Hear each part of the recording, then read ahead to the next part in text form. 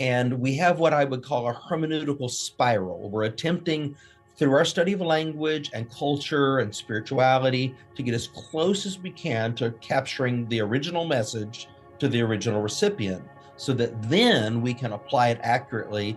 And then here, let me bring up the next big principle and we can decide is it cultural or is it normative? Is it cultural or is it normative?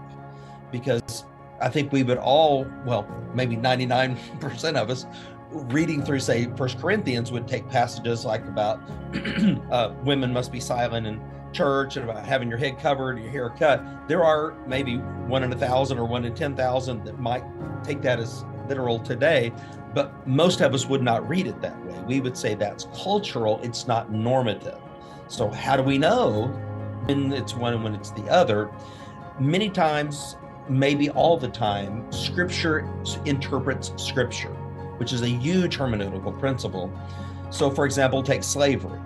Paul gives uh, commandments about how masters are to treat slaves, how slaves are supposed to respond to their master's authority. Is that cultural? Is that normative? Most of us would say that's that's that's cultural. How do we know that though? Are we just saying that because it's uncomfortable? Well, we know it because Paul told slaves to gain their freedom if they could. He tells them to submit. And if there's a way for you to gain your freedom, by all means do so. Well, then clearly that's not normative. He was dealing with a situation then and there. So those clues are normally embedded within the text. And I, I just love to say that scripture interprets scripture.